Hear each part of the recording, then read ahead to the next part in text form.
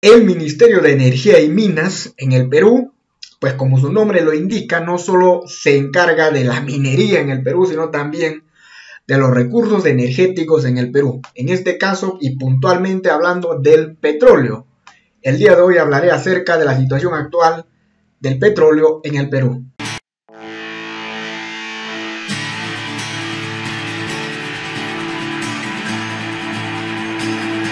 Un saludo cordial a todos y cada uno de ustedes, estimados amigos, damas y caballeros. Una vez más les agradezco su sintonía y les doy la bienvenida a mi canal para los nuevos suscriptores.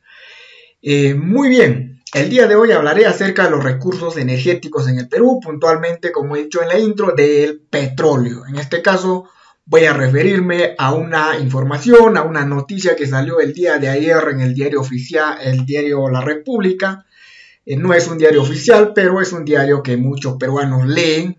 Particularmente no lo leo, pero me han hecho la mención a esta noticia y dar mi opinión al respecto. ¿Cuál era el título de esto? El día de ayer, pues los lotes petroleros, Congreso eh, se alinea con intereses privados. Eh, ley Express, que es una ley express, una ley rápida, una ley con intereses particulares. Eh, Comisión de Energía y Minas eh, aprobó extender 10 años adicionales a los actuales operadores cuyos contratos están por expirar. De, ratificarse en el Pleno, Petroperú tendrá que comprar ese crudo de petróleo a precio internacional y no al valor de costo. Bueno, eh, acá indica que es la sección de economía. Pero de economía, bueno, de aspecto económico no tiene nada esta portada, no tiene nada eh, en el texto introductorio habla pues de una cuestión más política, con un sesgo quizás hacia una tendencia ideológica. Eh, no, no tiene ese intro de economía, habla de costo, pero no habla exactamente cuál es ese costo actual y el pasado tampoco. Eh, hace una referencia. En resumen, habla pues de una ley, de un proyecto de ley, que en este caso es la ley frente al 804, que lo veremos más adelante y de qué se trata. Haremos un análisis al respecto con datos estadísticos para hablar técnicamente. En mi caso, pues, mi opinión de ingeniero, tengo que hablar con criterio técnico, más técnico, más económico que, digamos, eh, del aspecto legislativo en sí, debido a que las cifras, los datos van a contribuir a un razonamiento mucho más crítico, mucho más puntual y quizás mucho más acercado a la verdad y a la justicia, eh, si se puede decir de esa manera. Habla de un tal congresista de Acción Popular, Carlos Alba, que pues propuso la ley, ¿no? Al final, pues, eh, debería poner datos estadísticos o datos em, económicos, con porcentajes, con cifras económicas, eh, ya durante el contexto de esta información. Por lo tanto, no tiene un carácter serio, que digamos, tampoco leo mucho la República, a veces quizás, eh, este asunto. Eh, ya les digo que no tiene pues ese carácter económico, digamos, que debería tener toda información económica, habla de años, de tiempos, de petróleo y de cosas que no tienen sentido, digamos, en el aspecto económico. Al final, quizás hace algo, algo, algo pues para ver Sí, al final hace un análisis eh, estadístico, pero no como tal, sino una gráfica que no significa nada. Habla de unos lotes, eh, pues habla de una fecha de inicio, una fecha de término que no tiene nada que ver con la economía, por supuesto, y unos gráficos eh, de una parte del Perú, un cego, a lo cual sí puntualmente habla de la refinería de Talara. Pero más allá de eso no hace un análisis económico. Por lo tanto, para mí, tiene valor cero, como chisme lo podemos tomar, pero no como una cuestión seria. Sin embargo, eh, la sola afirmación ya del recurso energético eh, merece un análisis desde otro punto de vista diferente a lo que puede analizar eh, un político o lo que puede hacer un análisis un periodista. Vamos a dar un punto de vista de la ingeniería. Para ello vamos a hacer la intro, vamos a ver ese proyecto de ley 800 y tantos del que habla. Para ello tenemos que ir a los proyectos de ley del Congreso, allí está la información. Aquí sí ya podemos hablar de fuentes, fuentes del Estado, no digamos del gobierno de turno y los congresistas ni del presidente de turno, porque eso es una cuestión temporal. El Estado trasciende, el Estado viene desde tiempos que se independizó el Perú. y mucho más atrás todavía. Desde ahí trasciende la figura del Estado. Las personas son cuestiones temporales, por lo tanto hablaremos de Estado. Y este portal es un portal del Estado, no es del gobierno, no es de Pedro Castillo, no es de un tal Anderson o de un tal aquí que hace mención, eh, esta, esta, información, mm, a ver, vamos a ver, a la persona que propuso, hay una persona que propuso, Carlos Alba, bueno, de Acción Popular, no pertenece a esa persona el Congreso ni el, el aparato gubernamental, a Pedro Castillo. Todo eso pertenece al Estado. Como he dicho, he explicado esto que el Estado trasciende, vamos a ver y considerar como fuente única y fiable respecto pues, a los proyectos de ley. O sea, no hay otro lugar donde yo puedo encontrar los proyectos de ley tal cual. O sea, la única entidad es el Congreso, el portal del Congreso. Entonces aquí tenemos el periodo parlamentario 21-26, Comisión Energía y Minas, al que hace referencia en los videos, en las redes sociales, en las cuales he tenido comentarios y una mención por ahí.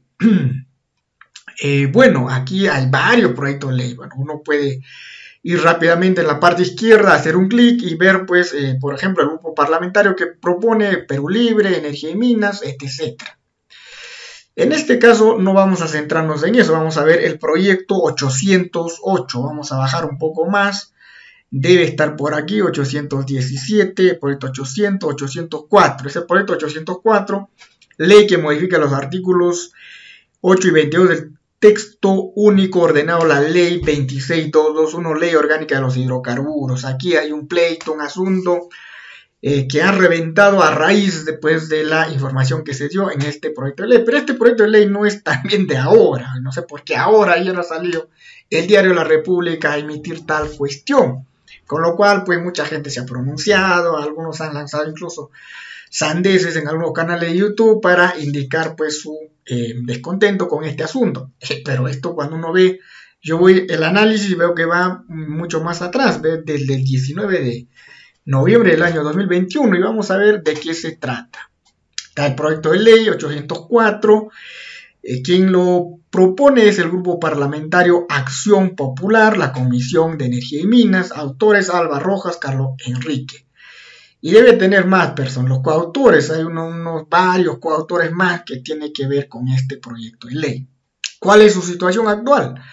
Presentado, ok, enviado a comisiones, pasó, ahora mismo está en comisión, o sea, en la comisión que eh, pues ya supuestamente allí se aprobó eh, este proyecto de ley. Todos los proyectos de ley, sin excepción alguna, tienen que pasar por sus respectivas comisiones. Anteriormente vimos un proyecto de Perú Libre, que es también parte de este gobierno. Eh, tiene que pasar por la Comisión de Energía y Minas, allí lo aprobarán, luego tendrá que pasar a debate en el Pleno del Congreso, luego eso tendrá que ver eh, también eh, con el Ejecutivo, por supuesto que se envía al Ejecutivo y una vez que el Ejecutivo diga sí o no, lo aprueba o lo desaprueba, recién va a ser publicada tal cual como ley. Entonces, este proyecto recién está pues a la mitad de caminar, todavía ni siquiera pasa por el debate en el Pleno, ni tampoco ha ido a todavía manos del Ejecutivo para que éste tome una decisión, o observa o, o, de frente pues lo va a aprobar, todavía no se sabe ese asunto. Debido a que recién se aprobó en la comisión, ahora tendrá que pasar al Pleno, el Pleno tendrá que discutir, hay congresistas de diferentes bancadas de diferentes colores que darán su opinión y al final votarán, ¿no? Porque va o porque no va. Entonces hasta allí no tengo ningún inconveniente con este asunto. La mera información de ese diario llamado La República me importa cero, me importa ahora este asunto que recién está en comisión. Debido a que también hay más proyectos que tienen que pasar por esta comisión, tienen que aprobarla necesariamente porque en algunos casos, de acuerdo a criterios, se aprobarán pero el fin de todo eh, proyecto de ley es que se apruebe, ¿no? Y que salga, porque se entiende, pues, que va para beneficiar a la población, no para, eh, para hacerle un mal. Aunque pueden tener esa tendencia también, los sesgos existen. Luego que hemos analizado el proyecto de ley, está en la comisión, perfecto, hasta ahí no tenemos problema. Pero vamos a ver el fondo del asunto ahora, cuál es la situación actual eh, de los hidrocarburos, en este caso del petróleo en el Perú, para ver eh, ese detalle, pues vamos a ver también el proyecto de ley en sí, como tal, que lo podemos ver eh, ya mismo aquí en la parte izquierda. Vamos aquí y va a salir directamente el proyecto de ley. Está presentado acá y lo podemos ver como un archivo si es que deseamos ver ya para hacer un análisis legal, pero eso es también eh, parte de la información que debemos eh, de leer y resaltar para ver la situación actual, cuáles son los motivos, los que hayan llevado a estos congresistas a proponer tal cosa como el, digamos, prolongar 10 años más de los contratos.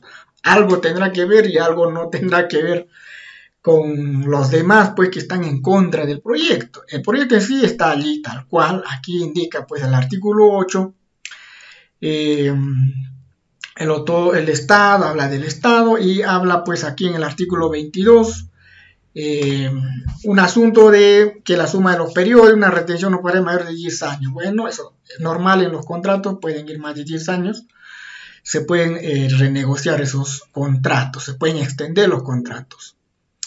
Eh, bueno, en sí eso es todo el proyecto de ley. O sea, no hay ningún asunto nuevo allí, salvo los 10 años que han puesto pues adicionalmente, entre otras cosas que han eh, estado mencionando en este proyecto de ley. Eh, más adelante vamos a ver en la autora, va a ver qué es lo que han modificado, qué es lo que tratan de, de mejorar en ese punto. Vamos directamente allí al inciso 22, el actual y el propuesto. Acá está actual. Trataremos tratándose de petróleo crudo hasta eh, completar 30 años contados después de la fecha efectiva del contrato. O sea, este contrato se supone que algunos contratos ya están por vencer o vencieron el 2021 o el 2022.